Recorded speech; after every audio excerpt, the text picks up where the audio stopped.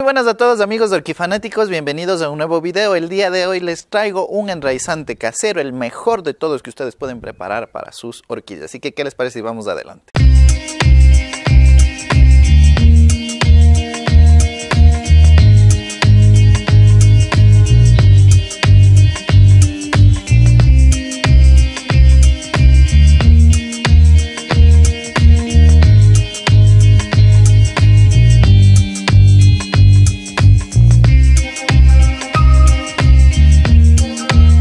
Hace un par de semanas hablábamos acerca de cómo tenemos que enraizar y muchos factores dependen del sustrato, de los cuidados, de la humedad, ¿sí? Pero también nosotros podemos colocarle una ayudita a nuestras orquídeas para que enraicen mejor y más fuertes, de esta forma también se alimenten más y tengamos mejores floraciones. Con esto, si nosotros empezamos hoy, digamos en abril del 2021 para eh, noviembre, diciembre, vamos a tener una planta totalmente fuerte, incluso que ya pueda habernos dado flores y que al próximo año o incluso de aquí a unos meses ya nos esté dando una cantidad impresionante de flores. Ya lo hemos visto y este enraizamiento depende full de lo que es el agua de coco, ¿sí? Entonces, esto es una de las cosas más importantes. Yo hoy tengo agua de coco embotellada, pero es agua de coco natural. Aquí en los ingredientes, por ejemplo, nos aparece agua de coco, eh, tierno, antioxidante, vitamina C y nada más. Para los amigos que residen en países donde es muy difícil conseguir el agua de coco puro del coco verde, seguramente van a encontrar esta de coco embotellada.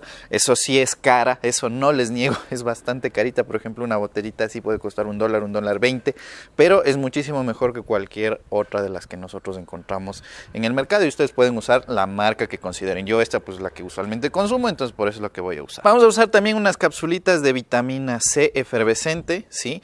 Eh, en el video anterior que les dejo acá arribita tenemos la variante que nosotros utilizamos aspirina, pero como la aspirina en muchos países se ha dejado de comercializar, se ha prohibido, digamos, ya sea por razones de patentes, razones legales o también de políticas de salud pública, eh, entonces es más difícil todavía encontrarla en muchos lugares que el agua de coco. Entonces lo que vamos a hacer es reemplazarla con una vitamina C de la marca que ustedes quieran, que ustedes tengan. Si tiene zinc, chévere, mucho mejor, pero tampoco es obligatorio. ¿De acuerdo? Entonces una vitamina C efervescente que tenga de mil miligramos o de un gramo.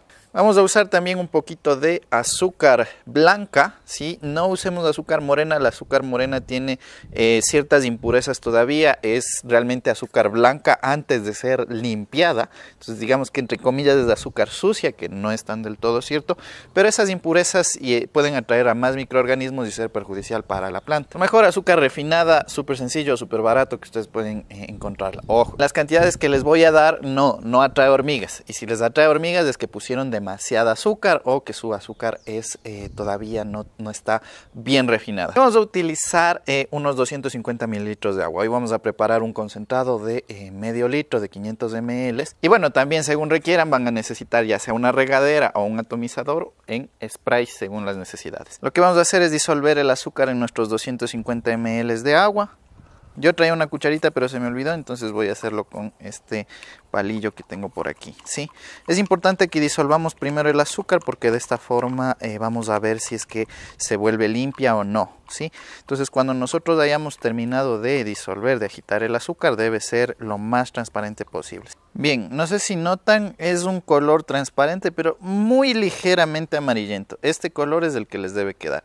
Si les queda más oscuro significa que el azúcar que ustedes están usando, vuelvo y repito, está eh, sin refinar bien. Bien, esto entonces eh, vamos a completar a los 500 ml, ¿de acuerdo? Entonces con el agua de coco. Luego vamos a tomar una de las pastillitas que nosotros teníamos. Ahora, me van a preguntar por qué efervescente es igual, en muchas veces la pastillita se disuelve. Bien, es efervescente porque necesitamos nosotros que eh, este, esta efervescencia, esta liberación del CO2, eh, produzca una buena mezcla de todos los compuestos. Con eso nos libramos de estar agitando constantemente. Ojo, súper importante y un tip, siempre que ustedes disuelvan eh, vitamina C, sea aquí en agua o se la tomen, procuren hacerlo a temperatura ambiente o si es posible fría. ¿Por qué? Porque la vitamina C se va degradando muy muy rápidamente. Bueno, si vamos a prepararlo como abono o ayudante a cualquier abono, lo que hacemos es separar unos 100 ml y estos 100 ml los vamos a disolver en un litro de agua. Si lo vamos a utilizar como, como enraizante, entonces lo que vamos a hacer es colocarlo en nuestro spray. ¿Sí? Entonces más o menos unos 100 ml nos sirven para unas 10 plantitas. Esto está tan concentrado que si nosotros nos pasamos también puede hacerle daño, así que vamos a tener cuidado. El resto lo vamos a guardar en refrigeración en una botella que lo proteja del exceso de luz. Bueno, yo voy a acabar el agüita de coco para volver a reutilizar esta botella. ¿Hasta cuánto podemos nosotros guardar el compuesto que acabamos de preparar?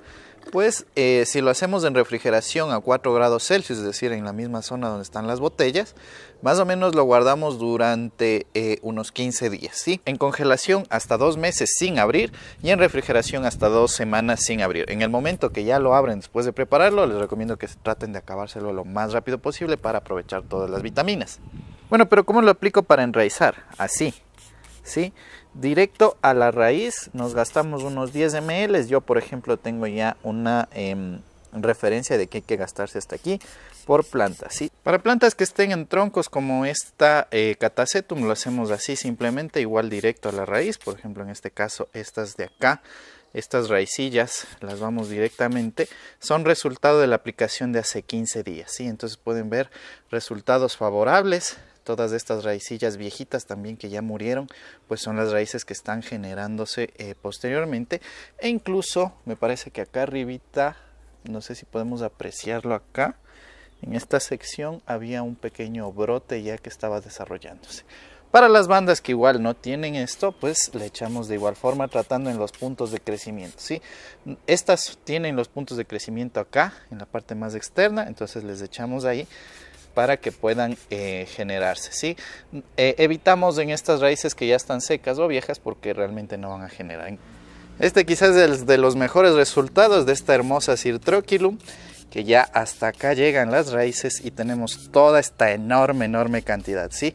Yo le aplico más o menos esto una vez al mes, eso sí, siempre acompañado de buenos cuidados. Y para el riego, ¿Lo puedo usar como abono? Claro, el coco de hecho es alto en potasio y lo podemos tener para floración también. Esto, inducción a floración, es un abono un poquito más diluido para que la planta no empiece a sacar raíces, porque si empieza a sacar raíces ya no va a sacar flores. Entonces lo hacemos eh, unos 100 mililitros en 2 litros de agua, ¿sí? Entonces más o menos aquí en medio galón aproximadamente serían eh, estos 100 mililitros lo disolvemos bien bien y esto le echamos. Esto nos sirve también para alimentar a nuestras plantitas. Yo por ejemplo estoy alimentando ahorita mi silobium que tiene un 2 3 5 6 7 8 varas florales desarrolladas. Ya la vamos a ver acá.